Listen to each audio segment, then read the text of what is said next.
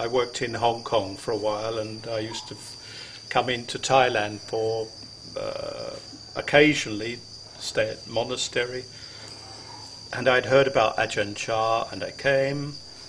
Uh, I came to his monastery, Wat Pa Nanachat, in Ubon, and I was told that he disappeared.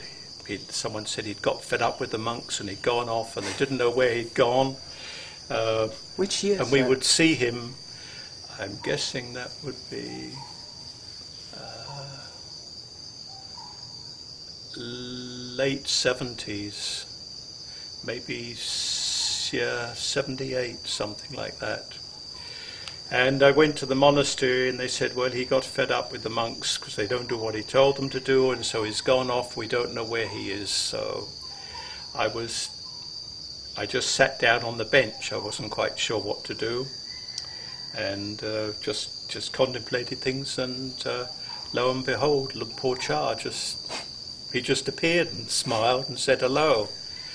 Uh, so it was. Um, he's always been a very warm, spontaneous man, and I've always one thing that interested me about Lu- uh, Chah was that when he would be in the monastery, there would be either visiting dignitaries from the government or people from high social classes or the, even the local people.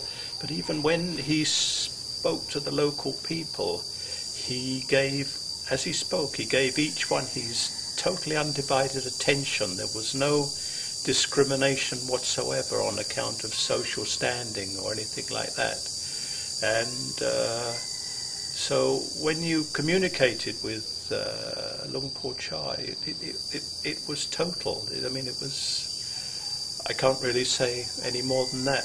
And he was a man with enormous humour, uh, a lovely smile, great warmth. Uh, I think perhaps one of the, the great characters of the world. Very, very simple man. Uh, I remember when he came to England in 1977 to establish the monastery there. I'll tell you a little bit more about that in a minute. Uh, and he he arrived, and when he left Thailand, somebody I don't know who gave him some jewels, precious jewels. Just gave them to him, so he took them. And when he arrived, uh, he met some some of the girls who are now nuns. Well, were nuns. One is, and he gave them the jewels. they were just visiting. They were just visiting Hampstead, and uh, I mean, he that that was the, that was the, that was the sort of thing he did, you know.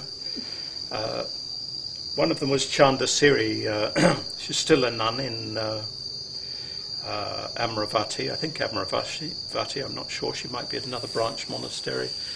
And uh, yeah, she she was surprised, and she doesn't know what happened to the jewels either. She gave them to someone else.